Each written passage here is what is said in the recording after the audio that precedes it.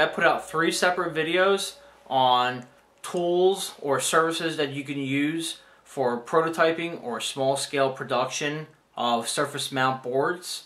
First one was I built a toaster reflow oven. Second one was I built a vacuum pickup tool for surface mount components. And the third one is I reviewed OSH stencils, Kapton-based stencils for going on top of your circuit board so you can put solder paste. So now we're going to put all that together I'm going to actually make my first board by doing reflow process. I already have the circuit board that I used to review OSH stencils and it's still covered. It's only been about 20 minutes since I've actually made that video. So we're going to use that, that board I'm going to place all the components with the vacuum pickup tool, and then I'll bring the reflow oven, bring it up here, and we'll reflow the components and see how well it works. So let me move the camera and we'll get set up to do all the pick and place. Okay, I got my little vacuum pickup tool plugged in, ready to go. So let's go ahead and start putting components on here.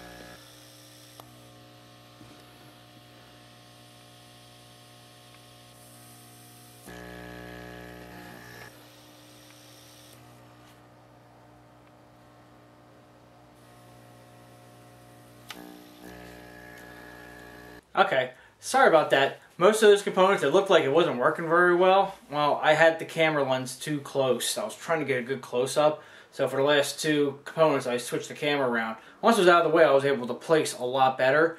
And if you don't have a camera in your way at all, you can actually look straight up and down, and you can place components a lot quicker. So let's take the circuit board down, turn on the oven, move the camera one more time, and we'll see the reflow process. Okay, let's get the oven plugged in. Let's see here. Right side.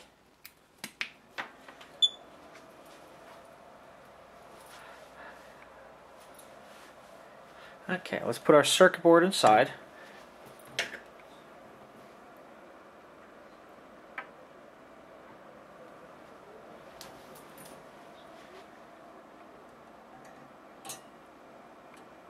Very carefully.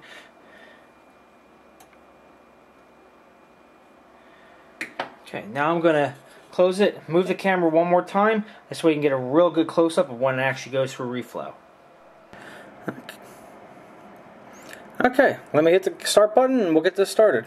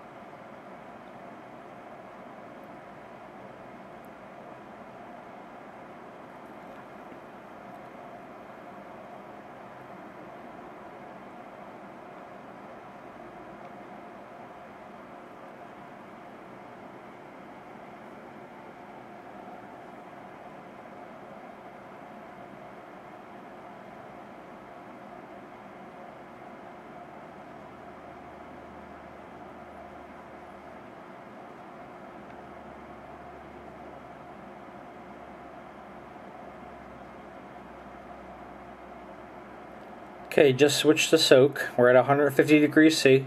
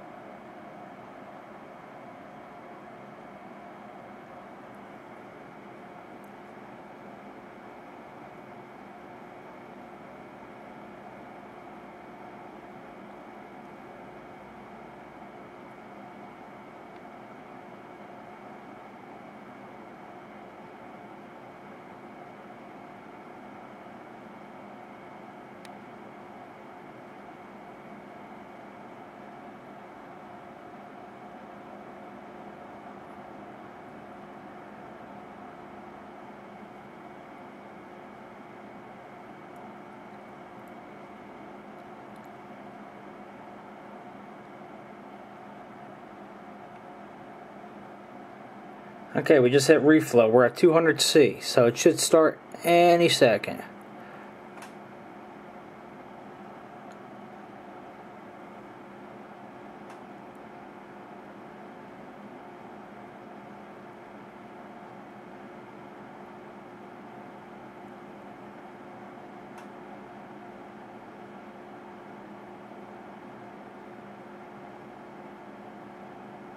Here goes the smaller ones.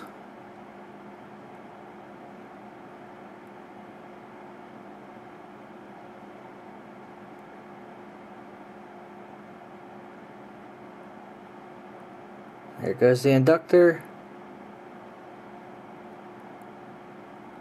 There goes the resistor right in front of the inductor.